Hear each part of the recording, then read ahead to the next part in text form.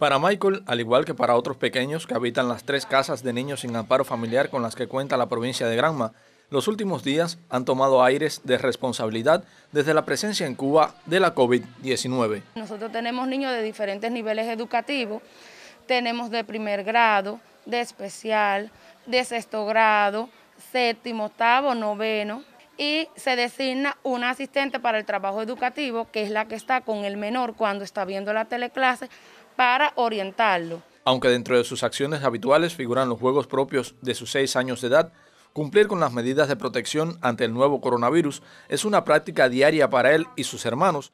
Lavarse las manos, ponerse el masobuco. Igual suerte corre el resto de los 14 infantes que conviven en la casa de niños sin amparo familiar de Manzanillo.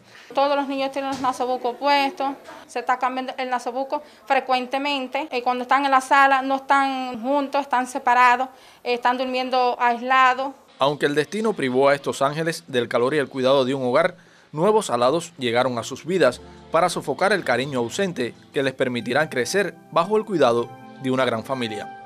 Donde te encontré ha surgido un valle